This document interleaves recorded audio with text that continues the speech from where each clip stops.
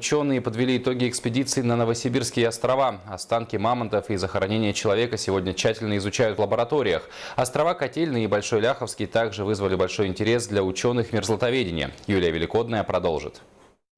Экспедиция получилась спонтанной. Останки животных и захоронения человека обнаружили местные жители. Узнав об этом, ученые отправились в Тикси. А уже оттуда на вертолете Министерства обороны отряд из 17 человек отправился на Новосибирские острова.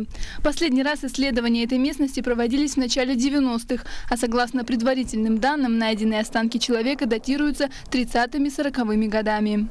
Это одна из, вот из основных версий, что это был военный. Э, это очень, как бы сказать, имеет огромное значение сейчас.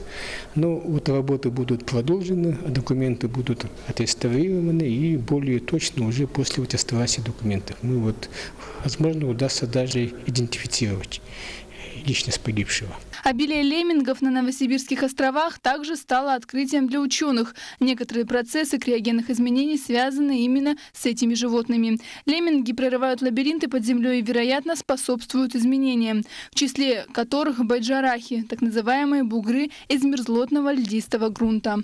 Специфика определенная на островах есть. И, э, значит, э, а, действительно это суровая суровая природа, суровые условия, и э, мы не все знаем о таких э, местах. Члены Русского географического общества и ученые Академии наук Якутии признаются, что им пришлось испытать все времена года на себе, находясь там всего неделю. На островах был и снег, и ветер, и солнце. Слой жизни там всего 40, а где-то 60 сантиметров, а остальное – мерзлота. Но все же, несмотря на это, там жили мамонты. Удалось обнаружить останки трех особей, но наибольший интерес представляет находка низкорослого мамонта старого возраста. Останки этого вот мамонта были транспортированы зафиксированы в Тикси, и сейчас мы их ждем в Якутске по водному транспорту. Экспедиция стала одним из главных мероприятий якутского отделения РГО в этом году и является, по сути, первой комплексной экспедицией якутских ученых на Новосибирские острова.